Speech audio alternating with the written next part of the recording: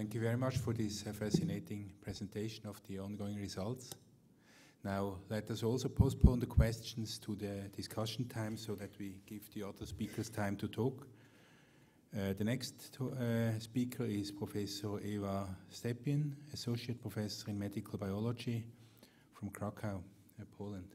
Thank you, for introduction. Uh, I represent Jagiellonian University in Krakow. There is the oldest university in Krakow. This year we celebrate uh, 650 anniversary of our university. I am a laboratory person. I am clinical lab, uh, diagnostician, laboratory diagnostician. So my my um, deal is to help clinicians how to diagnose patients, how to discriminate patients at risk with uh, cardiovascular events. Still, we do not have a laboratory biomarker which can uh, which can recognize the vulnerable plaque we have good biomarkers of myocardial infarction, but we do not have still bi uh, laboratory biomarkers of uh, atherosclerosis. Uh, we expect that uh, microparticles which are released uh, from activated cells may be a good biomarkers of, of cardiovascular events because of the potential procoagulation activity as well as potential, potential preangiogenic activity, so they can be useful, uh, useful uh, therapeutic targets uh, in future.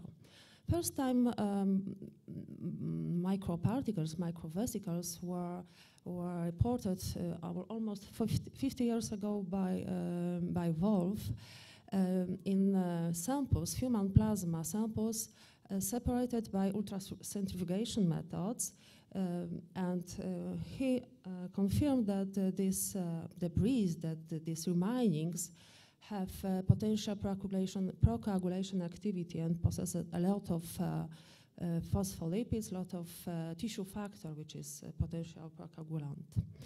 And there was, during many years, there was no agreement if uh, these remainings are simple, simple um, debris or they are um, extracellular organelles which are formulated, which are, uh, which are produced by cells in, uh, in a strictly controlled manner. Uh, almost 20 years later, uh, Trams showed that uh, we have different population of extracellular vesicles, smaller one and bigger one, and this uh, bigger one um, are released in different manner than, than, than, the smaller one. he he proposed that this uh, process is controlled by, by um, cytoskeletal proteins and called this process extrafoliation. Um, platelets endothelial cells can produce uh, microparticles. Uh, there is a growing interest in uh, mi microparticles research. Um, we have uh, in, in PubMed, we have each uh, year we have exponential progress in, in, in, in, publishing in this field. However, uh, there is um, some problems in, in, taxonomy. This can be confusing for, for some people because uh, there is there are different population of microparticles. These bigger ones are called usually microvesicles, microparticles, ectosomes, and they are released in the um, uh, in the shedding process with. Uh, uh, with involvement of, um, of cytoskeleton proteins, and the smaller one are usually called uh, usually called uh, exosomes, uh, oncosomes, microvesicles, or exosomes-like vesicles, and the process of producing them, releasing them is completely different. It's controlled by, by different proteins, and uh, um, they are produced uh, in the uh, Golgi, uh, Golgi system and released in microvesicles bodies through the fusion process. Uh, microparticles, microvesicles are commonly abundant. They can be found in blood, they can be found in urine, in milk, in saliva, vitreous fluid, uterine fluid. So they are widely distributed. So they can be also uh, potential good biomarkers because we can collect samples very simple. Uh, these circula circulating microparticles, which are in our interest, can be uh, is isolated uh, so, uh, from the blood by centrifugation method, by ultracentrifugation method. And this picture shows the, the size, the size and, and structure of microparticles. We can distinguish the uh, lipid layer, we can distinguish that uh, they possess inside different uh, dense matter. This dense matter, there are proteins, they can be uh, nucleic acids, different, different uh, micromolecules. Uh, what we found that microparticles are on the detectable level in blood, in circulating blood, in control subjects, in healthy people, but in, uh, in patients with acute and with uh, chronic uh, cardiovascular diseases, the level of microparticles is significantly increased. And the most, the, the, the, highest increase is observed in microparticles which are released from platelets, from activated platelets, which possess, on, uh, which uh, uh, which are um, uh, which carry tissue factor. Tissue factor, as we know, is a very important, very important um, uh, coagulation factor which uh, activates the uh, ex extrinsic coagulation pathway. Um, in patients with cardio cardiovascular events, we observe that number, significant increase of number of tissue factor bearing microparticles and phospholipids, uh, phospholipid positive microparticles, which can be released also from other cells, from other cells in acute events, also uh, macrophages, also endothelial cells, endothelial cells produce a lot of uh, a lot of microparticles which are, excuse me, which are uh, tissue factor positive. What is this? this there is a, a, fibrin clot produced from human plasma, uh, isolated uh, from healthy subject in comparison to uh, clot uh, uh, formed from plasma from patients with cardiovascular myocardial infarction. It is always uh, we can observe that the structure of this clot is always changed. This clot is uh, more dense and less permeable, and uh, under higher magnification, we see we can see that these fibers, fibrin fibers, which are uh, they are covered with uh, uh, vesicle structures. They are probably microparticles possessing, as I suppose, possessing a tissue factor.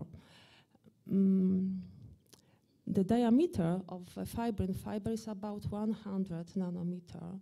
So we can compare that the diameter of these vesicles is less, more or less 100 or 200 micrometers, which represents the, the diameter of these structures we, which we can uh, isolate uh, using uh, ultracentrifugation method, methods. In blood, the main source of circulating microparticles are platelets. This picture represents activated platelets, platelets activated by, co uh, by collagen, and we can see protrusions, and uh, at the end of these protrusions, the mic uh, micro vesicles are released.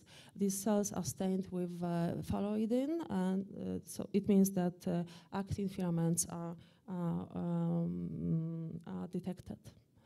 And there is a picture of relaxed platelets. These relaxed platelets, which are at, uh, which adhere uh, to uh, neutral, uh, neutral uh, surface, silica surface, are completely different in shape. And there is a clot, there is a, a platelets aggregate removed from coronary artery from the patients with uh, from the patient with uh, myocardial infarction. So we can distinguish yeah, protrusions which probably can form microparticles. And endothelial cells in vitro also produce a lot of vesicles which are which are rich in uh, um, Weibel-Palade uh, uh, with uh, um, von Willebrand factor in Weibel-Palade bodies. And in scanning electron microscopy, even relaxed endothelial cells produce um, a lot of micro, microvesicles. What kind of methods we can use to observe, to, to enumerate, to, to, to uh, distinguish microparticles? Um, of course, uh, flow cytometry, there is a method of choice, but this routine method, this routine flow cytometry is not uh, very useful because um, um, microparticles are on the border of the of the uh, of um, of the resolution of this traditional flow cytometry method. Now we prefer high resolution flow cytometry there, where the angle of detection is uh, even is lower than the traditional uh, one and imaging flow cytometry methods very useful method to to analyze aggregates of microparticles we can observe we can uh, analyze the uh, the morphology and the positive, also positive staining of different markers which are, which are um, on the surface of microparticles released from different cells. Microscopy techniques, I showed you uh, pictures of, uh, of um, platelets uh, which are uh, stained with uh, phalloidin. They are endothelial cells activated with, with TNF alpha number of microparticles which are rich in uh, in actin is, is higher in, in these conditions. In scanning electron microscopy, we can observe also the, the, the shedding of the membrane after endothelial cells activation. Transmission electron microscopy allows us to, to, to see the, the structure of, of uh, uh, microparticles and Atomic force microscopy, very useful tool for analysis of the process of uh, shedding, of bulbing uh, cell, cell, surface to produce, uh, to produce microparticles in, in vitro. And very nice uh, picture I would like to show you, uh, very, very, recent, uh, very recent results, where we can observe, distinguish um, different population of uh, microparticles from uh, human plasma, which is uh, centrifuge, and, and, and we can see that using different separation method, we can we can separate separate different population of um, microparticles. Also, uh, nanotechnology methods are uh, useful in, uh, in, microparticles analysis. It is NanoSight, NanoSight analysis and epigenomic methods. As I said uh, uh, in the beginning, the microparticles are, mm, are potentially pre-angiogenic factors, and this uh, plot shows that uh, increased expression in microparticles in compared to, to plasma of uh, pro-angiogenic and anti-angiogenic uh, RNA. And in conclusion, microvesicles are heterogeneous in size. They are smaller and bigger one. They can, um, they can be uh, useful as a non-invasive biomarkers in clinical diagnostics and uh, variety of molecules and biochemical and physical uh, biochemical and physical methods can be used in analysis and in, in the research of microparticles. I would like to acknowledge my, my colleagues uh, from Krakow and from, from Warsaw, and there is a picture of, of, of Krakow I would like to show you. Thank you very much for this presentation. It once shows again that 40 years ago we have seen things in microscopes and we have never looked at them in the way we should have done probably then. And now we are recognizing that these are important biologic events. So this reminds us when we do are doing research or clinical work, there are so many secrets hidden before our eyes, which we should grasp at some point. Now let's also postpone the specific questions to this question period at the end of the session. Thank you very much again for your presentation.